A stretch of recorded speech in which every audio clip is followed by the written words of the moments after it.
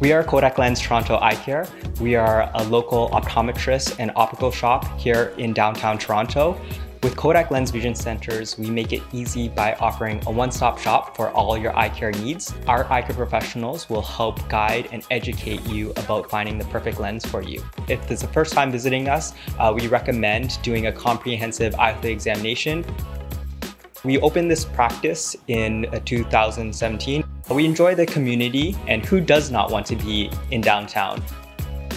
Because of COVID, we have implemented many safety measures within our practice. Not many businesses are going to survive after this pandemic. If you want to support your own community, shopping local is one of the best things to do that.